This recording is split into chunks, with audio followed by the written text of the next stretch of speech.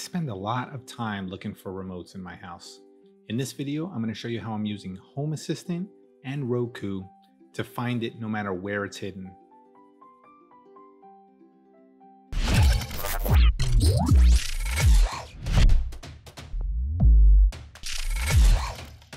Alexa, turn on the living room remote finder.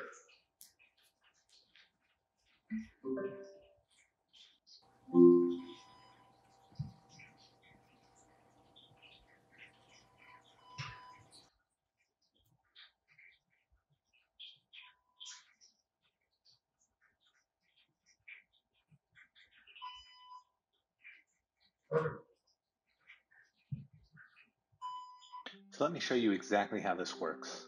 Let's jump over to my project. So I have, uh, if you haven't checked out my repo, there's a, uh, I have all these files on there and this one is set up as a package. So under the package folder, you can scroll down and go to the Roku and I have everything built in here.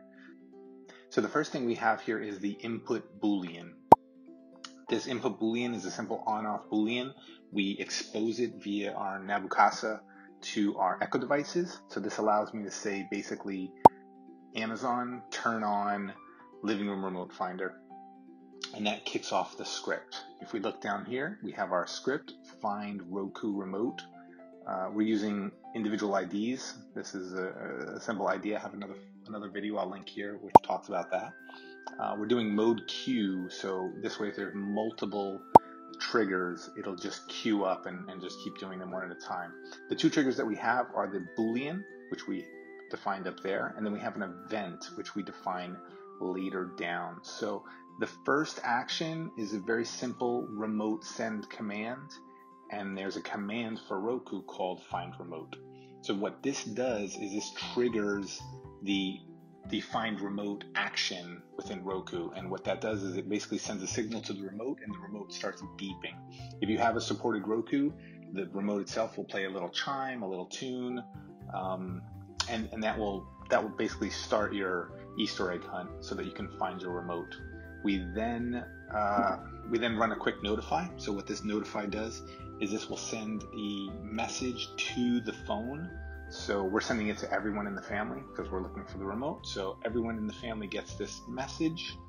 And then the last thing we do is we turn off the living room, uh, we turn off the input boolean. So this sort of sets the script to kick off again. Once we've found the remote, so what this script does is this, this, pre- this presents two options to us.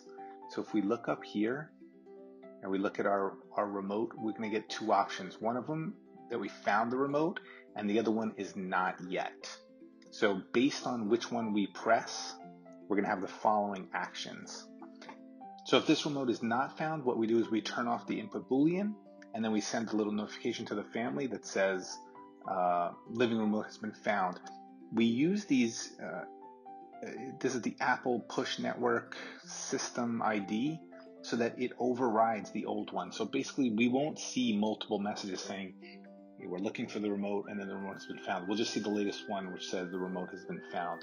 If we don't find the remote, what we do is we just basically kick off. That's this other event. So if we press the other button, we'll get this event that says uh, living room remote not found, and then we'll basically just cycle through the process again. And that's basically how it works. Uh, we have this one script file, super easy to use. You'll have to change some of the media player. Basically, you just have to change this one media player to point to your Roku and change some of the uh, the notifications. But that's basically how it works. You ask your Amazon device to find the remote. It kicks off the script, which kicks off a little message, you know, a little tune on the Roku Roku remote itself, and then we go through this loop until we find the remote. So hopefully you think this is helpful. Hopefully this is a cool little package that you can use in your own house. Check it out on the repo. There's links in the description and have a good day. Bye.